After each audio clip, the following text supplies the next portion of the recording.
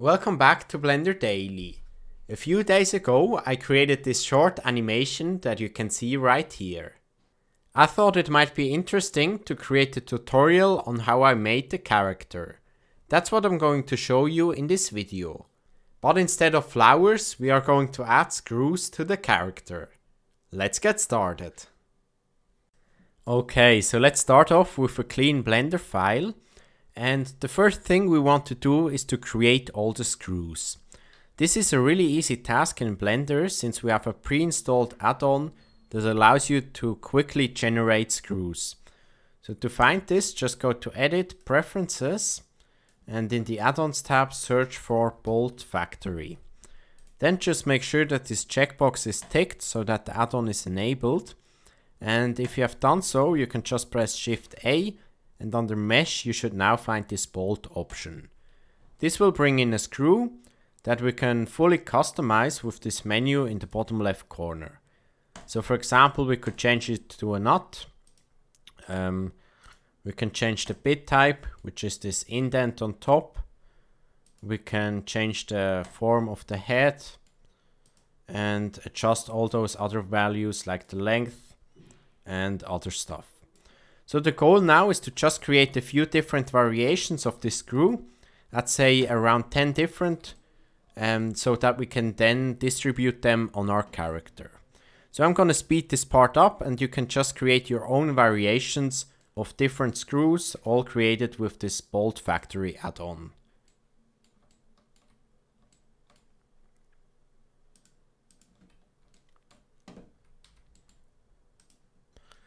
Okay, so my screws are all ready. And what I want to do next is select all of them and right click to shade them smooth. Now they look a bit weird. So what I also want to do is go to the object data properties and under normals enable auto smooth. So now when I do this, you can see that it only affects the active object and not all the selected objects. So if you want to select, uh, if you want to affect all the selected objects, you have to hold down Alt while you enable Auto Smooth and it will affect all of them. So the next thing I want to do is also bring this origin point that is now on the bottom of all the objects into the middle of the individual objects. To do so, I go to this object menu and under set origin, select origin to geometry. Okay, so now all those models are ready. And the next thing is to give them a material. So I'm going to switch to material preview and also open up a shader editor right here. Select this one, give it a new material and call this metal. Then also bring the metallic to a value of 1. Maybe bring down the roughness just a bit and I want to apply this to all the objects. So I select them and press Ctrl L and link the materials from the active objects object so they all have the same shader. Now I don't want all the objects to have exactly the same color. So in the shader editor, I press Shift A and under input bring in an object info node. Now I can use this random output for the base color so each object gets a random value. This is already better, however I don't like that uh, there are those completely black objects. So I'm gonna use a Shift A, a color ramp node. Bring this in here between the object info and the Principled BSDF node and just bring up the black values a bit. Maybe also take the value, white values down a bit to adjust this. And I think this looks pretty good. This is usable. So let's create a new collection for them. I'm going to call this bolts. Select all the objects, bring them into this collection. And we don't need to see those objects anymore, so we can just disable this collection. And I think this is probably a good time to save our file. So I'm going to go to File, save as and save this to my computer. Okay, so the next thing we have to do is to bring in our character. So for the character, I went to mixamo.com, which is a really cool website where you can download free characters and get corresponding animations. So here I chose the mannequin character and under animations, I'm just gonna search for dancing and look for an animation that I like. So maybe just try out a few different ones. Uh, this one could be good. Maybe another one. Yeah, I think that's a good animation. So you don't have to use the same as I do. You could choose any of those animations and then just go to download, leave it on the default settings, click download again and just save it to your computer. Now back in Blender, to import it, go to File, Import, FBX, and select the animation that we just downloaded. So now we have this character in here, and if I play the timeline, you can see that this is animated. And this animation that I downloaded is only 142 frames long. However, my timeline is longer. So I'm just gonna type this in here, 142 to adjust it. And now they both match. Okay, so we can select the armature, only the armature for now and press H to hide it since we don't need to see this anymore. And I don't really like the shader that we have now. So I'm going back into the shader editor, delete this material and just create a new one. Call this character. Let's make this metallic. Also bring down the roughness. And I think the color is okay. Yeah, so that's it. So let's continue with adding the screws to the character itself. So for, we're going to do this with geometry nodes. So let's open up a new window, switch this to the geometry node editor, and with the character selected, create a new node tree. Now in order to distribute those uh, those screws on the character, we need to use a Shift A point point distribute node. Bring this in here and as you can see, we get a lot of those, those little points that are distributed along the mesh of our character. Now we can turn those points into the screws with a point instance node. So bring this in here, switch this to collection turn off whole collection and select our bolts collection. So now we have all the bolts distributed along our mesh. However, they are currently way too big. So let's bring down the scale. However, I don't want all the screws to have exactly the same scale. So we want to randomize those values a bit. So for this, we press Shift A and under Attribute, bring in an Attribute Randomize node. Bring this between the two points, point nodes. And for the attribute, we're going to use, or we're going to type in scale.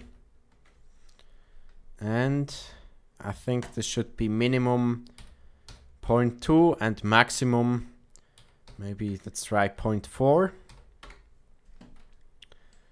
This is already better, but I think it is still too big. So let's make it 0.3. And I think that's pretty good. Okay, so now this is better. However, I don't like that all the screws are pointing in the same direction. So let's also randomize the rotation. So Shift A attribute and bring in another attribute randomize node. Change this from float to vector and just type in rotation. Point rotation and bring the maximum value to 360 degrees so we get completely random rotations on those screws. And we can also press the spacebar to play this animation and see what this currently looks like. Now if we want to change the density of those screws, you can go to the point distribute node and play with this density value. Now here you can see that we only have the screws and not the character itself anymore. So if we want to bring this back, press Shift A and under Geometry, bring in a Join Geometry node. And now combine the screws with the original geometry that we have from this group input node. And now we have both of them. And I also want to bring back up the density. So I think I leave this at the value of 1. And this looks pretty good to me. So let's play the animation again. And I'm really happy with it. So I think it is time to prepare this scene for rendering. So first of all, I want to bring in a background plane. Tap into edit mode. Scale this up a bit. Select this edge in the back and press E Z to scale it upwards. Then select the corner, Control B to add a bevel and use the mouse wheel to add a few more segments. Maybe select everything SX to make it a bit wider. And back in object mode, I want to right click and shade this smooth. Okay, so let's bring in a camera. Shift A, camera. And from the front view, I'm just going to press Control Alt Numpad 0 to place the camera in the view. And I'm gonna scrub through the timeline to check that the character is always in frame. Maybe G Z, bring the camera a bit up. And I think this looks pretty good. Okay, so let's see what this looks like in rendered view. And currently this is really bad. And first of all, we are in cycles now, but I want to use Eevee. So I switch the render engine to Eevee. And we also don't have any light in the scene. So I want to bring in an HDRI. I go to the World tab, click on this yellow button next to color and select the environment texture. Click on open and Blender actually comes with a few pre-installed HDRIs. If you want to access them, just follow this file path that I have right here. And there you can find all the HDRIs that already come with Blender. I saved this folder to my favorites so I can quickly access it. And here I think I'm going to choose the forest HDRI for this project. So I open it up and now we have light in our scene. I don't like the color of the background, so I select this background plane go to the material options and give it a new shader. Then under base color, I'm gonna maybe a bit of red or I think blue is probably even better. Yeah, I like this blue. So I'm just gonna give it a slight blue color. And yeah, maybe also adjust a few render properties. So first of all, I want to use ambient occlusion. Maybe make this even stronger. So bring up the distance to 0.5.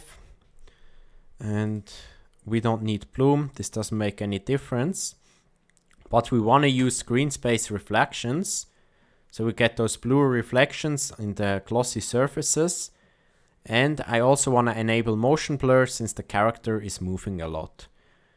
A shutter of 0.5 however is way too high so let's bring this down to 0.1 and I think that's everything.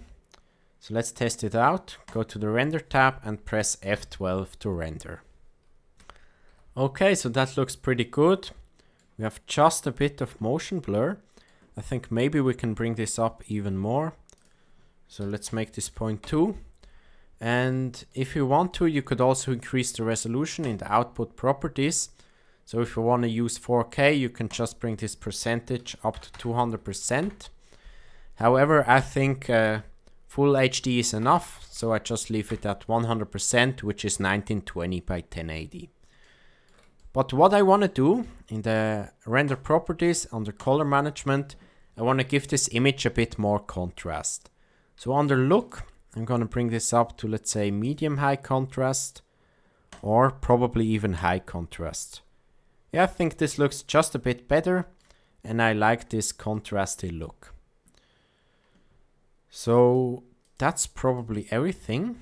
So let's try, just try another frame. Press F12 again and let this render as well. Okay, so now this motion blur looks really good. I think it's good that we increase this a bit. And yeah, so let's render the animation. Let's go to the output properties. First of all, select an output folder where you want to save it. I'm just gonna call this Screwman.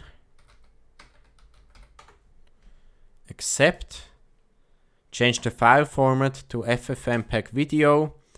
And I also want to switch the encoding. Here I can choose a, choose a preset and I'm going to choose the MP4 preset. And that's already all we have to do. Again, if you want to increase or decrease the resolution, you can do this in here. Otherwise, you can leave everything on the default. I think 30 FPS is also okay. So then to render, just go up here to render and choose render animation or press the shortcut Ctrl F12.